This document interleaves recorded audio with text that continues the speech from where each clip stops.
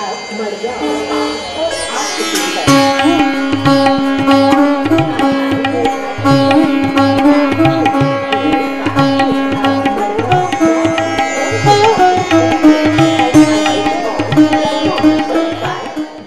पे 40 से 45 बच्चे काम करते हैं और एक बोगी को तैयार करने में कम से कम तीन दिन लग जाता है और जैसा भी बताते हैं वो बना देते हैं। अभी जैसे मछली का रास बोले थे तो बनाए हैं। अभी फिर मोर का रास बोले हैं तो बनाए हैं।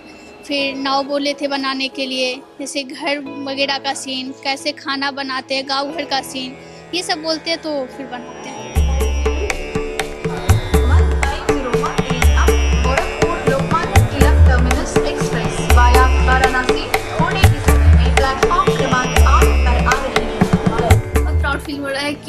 आज हम लोग की गाड़ी रेल पे गई है और कितने दरभंगा से लेके दिल्ली तक लोग देखेंगे। आज सबके मन में हुआ कि मिथिला पेंटिंग भी कुछ है।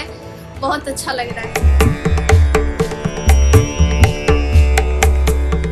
मैं दरभंगा जिला से हूँ। मुझे पेंटिंग देगा ट्रेन पे जो बहुत ही अच्छा लगा और एक प्राउड मोमेंट है कि एक आर्टिस्ट के लिए कि उसने अपने इतना अच्छा शो करा रिप्रेजेंट करा एक नेशन को, एक स्टेट को. And as a Bihari it's a proud moment for me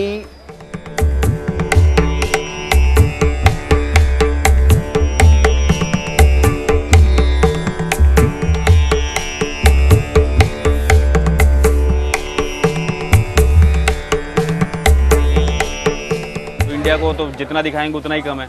लेकिन पेंटिंग काफ़ी अच्छी लगी देखने में लेकिन जो ट्रेन चल रही है ना हमारी उसमें सबसे दिक्कत ये आ रही है कि भीड़।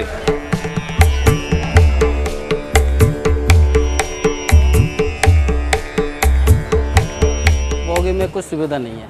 नहीं तो उसमें लंच करने के लिए कोई स्टूल है नहीं तो उसमें बैग टांगने के लिए कोई हैंकर है सर। और सफ़ाई नहीं है सर बाहर से जो सुंदरता है बसरते भीतर से तो वो सब कुछ तो खैर पहले के जैसा है। इसमें कोई परिवर्तन नहीं है।